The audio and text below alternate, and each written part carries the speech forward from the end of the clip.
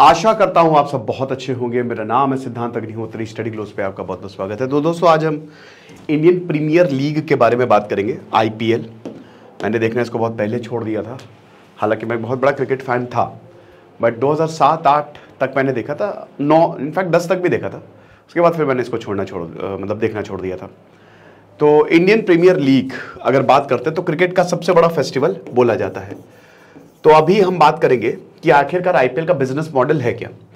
Saudi Arabia लगभग 30 billion dollar 30 billion dollar जो है ना, वो खर्च करने वाला है कहाँ पे? आईपीएल में, यानी कि वो स्टेक्स खरीदने वाला है। मैं इस डील में इंटरेस्टेड नहीं हूँ सो आई एम आउट ठीक है? तो बेसिकली ये बहुत बहुत बहुत बड़ी चीज़ है इंडियन प्रीमियर लीग के लिए। समझ रहे हो? तीस billion dollar is a very very very big amount एक बिलियन में सौ करोड़, एक बिलियन डॉलर में कितना अस्सी रुपए चल रहा आठ सौ करोड़। तो आठ तीन जा कितना? चौबीस। हज़ारों करोड़, चौबीस हज़ार करोड़, इतना ज़्यादा अमाउंट तो आप ये समझो कि पैसा आ रहा है, पैसा ही पैसा होगा, ये हो रहा है। आपके पास भी बहुत पैसा आएगा, अगर आप हमारे शानदार पर्सनालिटी डेवलपमेंट कोर्स को अवेल करें। अगेन फिर से हमने एक दिन के लिए बस आज के लिए सेल चलाई है। ये यार बहुत ज़्यादा डिमांड में रहता है। मतलब इसके लिए इतनी कॉल्स आती है। तो आज 12 बजे तक सेल खत्म हो जाएगी। कोर्स अवेल करें 50 किताबों का रिव्यू 22 लेक्चर्स, एक लेक्चर, एक डेढ़ से दो घंटे का, आपको मज़ा आ जाएगी। तो पहले तो हम न्यूज़ देख लेते हैं कि सऊदी अरेबिया कह रहा है कि भाई देखो, हम मल्टी बिलियन डॉलर स्टेक लेने वाले हैं आईपीएल में। ठीक है? अब देखो बीसीसीआई के बारे में जानो। Board of cricket control of India कल ही मैंने आपको बताया था कि बीसीसीआई के ऊपर एक एफआईआर हो गई है। बीसीसीआई 1990s तक बीसीसीआई कुछ नहीं था। आपको पता है मतलब इनके पास पैसे ही नहीं थे। उन्नीस का जब भारत ने वर्ल्ड कप जीता तो पैसे जुटाने पड़े थे। वहाँ से लाने के लिए, पार्टी ऑर्गेनाइज करने के लिए, ऐसा कुछ था, इनाम देने के लिए, चंदा मांगा गया था। लेकिन आज बीसीसीआई का जो रेवेन्यू तीस हज़ार करोड़ से ऊपर है। बीसीसीआई दुनिया की सबसे रिचेस्ट स्पोर्ट्स बॉडी में से एक है।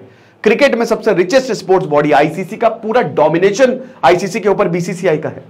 जो बीसीसीआई कहते हैं वो पत्थर की लकीर, पैसा बोलता है। हर कोई इंडिया के साथ मैच खेलना चाहता है और उससे ज़्यादा हर प्लेयर आईपीएल खेलना चाहता है। समझ रहे हो? अब ये आईपीएल सोने की मुर्गी है। उन्नीस सौ बानवे में जब साउथ अफ्रीका इंडिया आई, तीन मैच के लिए तो वहाँ का जो चैनल था तब बीसीसीआई को बोला कि हम मैच दिखाने के पैसे देंगे तुमको। कितने लोगे? तो तकरीबन तीस हज़ार डॉलर की बीसीसीआई ने मांग की। उन्होंने कहा कि चालीस हज़ार डॉलर एक मैच का देंगे तुमको। बीसीसीआई के तब बीसीसीआई को पता चला, भाई ब्रॉडकास्ट राइट्स भेज के भी पैसे कमाए जा सकते हैं। और वहाँ से फिर पैसे कमाए जाने लगे बट फिर भी इतना ज़्यादा पैसा नहीं आता है। देखिए बीसीसीआई कोई सरकारी बॉडी नहीं है। याद रखिएगा, वो एक प्राइवेट बॉडी है बीसीसीआई बहुत लोगों को पता नहीं है। कल को अगर कोर्ट चाहे तो बीसीसीआई को हटा के स्टडी ग्लोस को भी बॉडी बना सकती है कि जाओ क्रिकेट को कंट्रोल करो। ये सरकार के कंट्रोल में नहीं है। National game of India hockey नहीं है। कल मैंने बोल दिया था हॉकी हॉकी नहीं है। भारत का कोई नेशनल गेम है ही नहीं, पहली बात तो।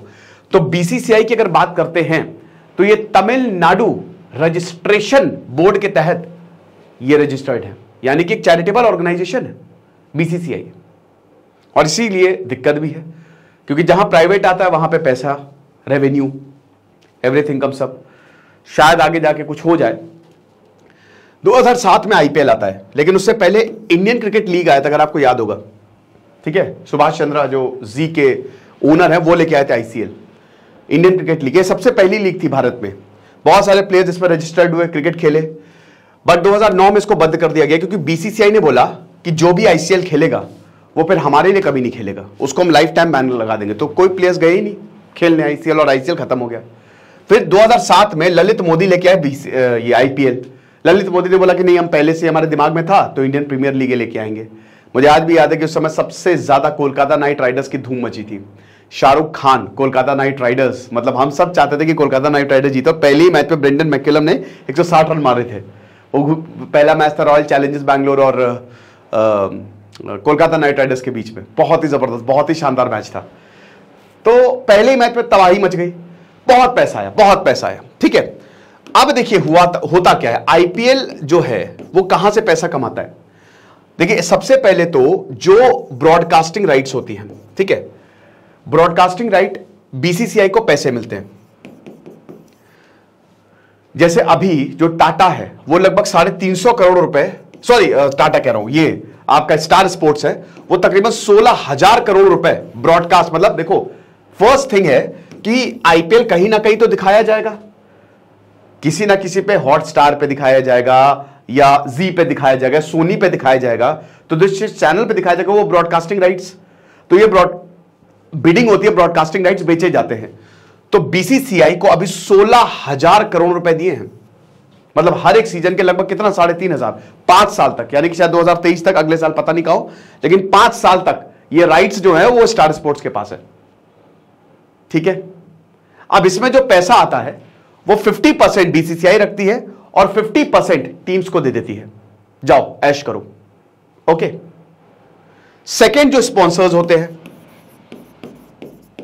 सेकेंड स्पॉन्सर्स कैसे? जैसे Tata IPL Vivo IPL Vivo ने साढ़े चार सौ करोड़ रुपए दिए थे। टाटा ने साढ़े तीन सौ करोड़ रुपए दिए। ड्रीम इलेवन हर चीज़ पे। ठीक है? छक्का मारा तो ये स्पॉन्सर छक्का हो गया। तो ये जितने भी स्पॉन्सर्स होते हैं, उससे भी बीसीसीआई को पैसे मिलते हैं। वो भी 50 परसेंट बीसीसीआई रखती है 50 परसेंट जो है वो टीम्स को दे देती है। ठीक है? तो यहाँ से बेसिकली पैसे आते हैं। फिर टिकट्स को सेल करके, लेकिन देखिए बीसीसीआई तो इन दो चीज़ों से पैसे कमाती है और बहुत हज़ारों करोड़ में कमाती है। बट टीम्स का क्या? देखिए टीम्स का एवरेज खर्चा जो है, एक क्रिकेट टीम का वो 200 करोड़ के आसपास होता है। क्योंकि इसमें प्लेयर की फ़ीस आपको देनी है, उसकी ट्रेनिंग हो गई होटल हो गया ट्रांसपोर्टेशन ये सब आपको देखना है।